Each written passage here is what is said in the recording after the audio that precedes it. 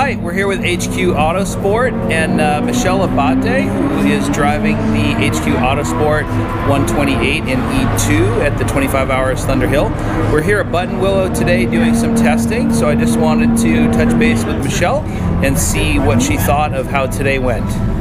Yeah, so it's been an awesome day weather-wise, that's for sure. Couldn't ask for anything better than today, and it's been really good to get behind the wheel of the 128.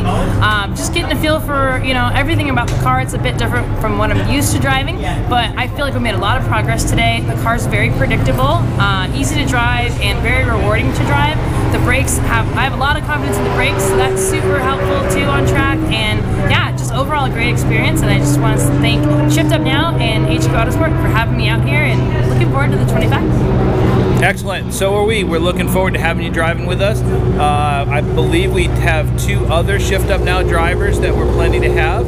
Uh, don't have the full names on them at the moment, but we will probably do an announcement later on as far as who those are going to be and get the lineup all set up.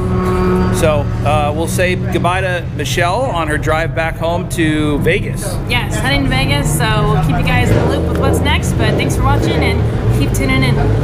Excellent. And just a quick little uh, blurb just so you all know, not only does she drive, she's racing our 128, but she's driving home in her uh, 135. So it's almost the same car, but maybe with a little bit more power.